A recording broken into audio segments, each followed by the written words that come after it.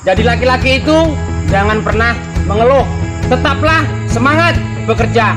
Kenapa?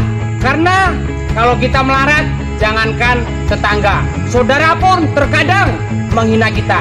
Jadi tetaplah semangat bekerja, pantang menyerah sampai suara ejekan di luar sana berubah menjadi acungan jempol dan tepuk tangan karena kesuksesan